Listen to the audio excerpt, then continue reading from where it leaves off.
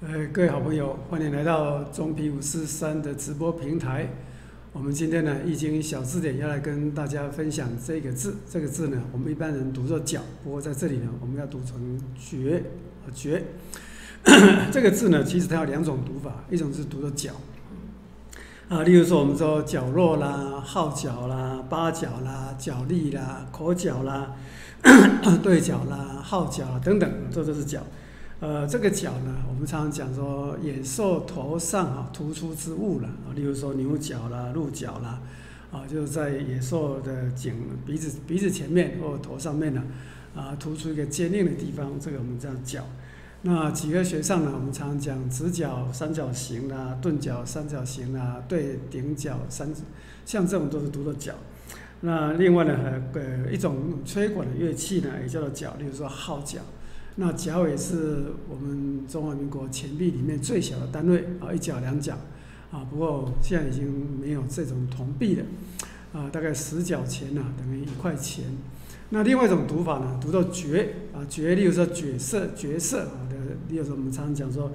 呃，这个演员呐参加什么样的角色了啊？这个角色其实不是太正确念法。一般人念成角色，那这个角呢？哈，那最早是我们讲宫商角徵羽啊，在五音的时代，呃，这个五音呢，据说是黄帝时代的乐官呢，啊，这个乐官名叫林伦呐，啊，这个人所发明出来的五音系统。我们知道，我们现在呢，这个音符呢是七个音啊，哆来咪发嗦拉西，七个音。啊，这个宫商角徵羽呢，角音呢，大概是七音当中的咪的这个音，啊，所以呢，这个读作绝是五音系统当中的中国，呃，华夏民族当中呢，啊，这个宫商角徵羽古代的五音古音的类似咪的这样的一个音，这是一个全音符，这个全音符。那另外呢，有一个二十八星宿里面呢，有一个叫绝宿，绝宿，它是二十八星宿当中的一个星宿。然后这个星宿呢，作为通常作为东方苍龙星座，我们讲说东的东方的苍龙星座的第一颗星呢，我们叫绝星，叫绝宿，啊，所以非常感谢大家，今天我们要跟跟大家分享这个非常常见的字，但是我们可能不知道它怎么念，念成绝，